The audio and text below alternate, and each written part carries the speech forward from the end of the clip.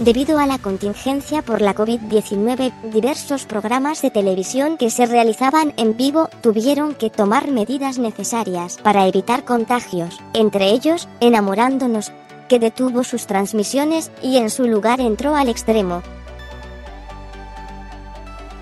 por el poco éxito y mínimo rating de Al Extremo, el periodista Alex Caffie señaló que Televisión Azteca quiere poner nuevamente al aire a Enamorándonos. La televisora de la Jusco ha perdido a los televidentes, por ello, tiene urgencia por regresar a la pantalla chica la popular emisión de citas de amor,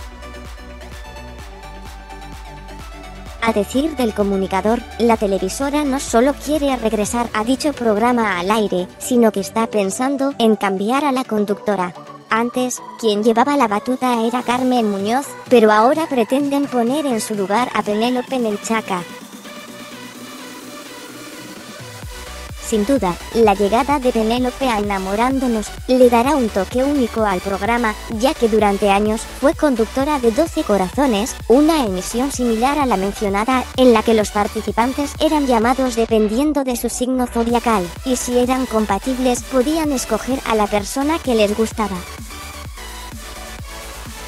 En febrero, Penélope Menchaca estrenó el programa El Poder del Amor, pero tuvo que salir del aire una semana después, debido a que no tuvo el éxito que se esperaba. La dinámica consistía en el encuentro de 14 participantes, 7 hombres y 7 mujeres, decididos a encontrar el amor. Dichos personajes se hospedaban en una casa ubicada en Estambul, Turquía. La idea era que en la emisión los participantes realizaran diferentes dinámicas para conocerse, mientras que el público elegiría a su favorito a través de sus votos.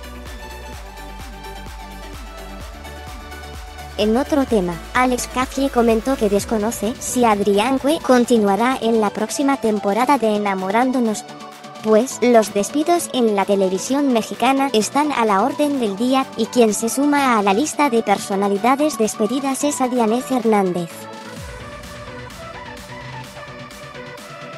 El viernes fue su último día en Al Extremo, y a partir de hoy ese programa únicamente será conducido por Juan Barragán y Carmen Muñoz.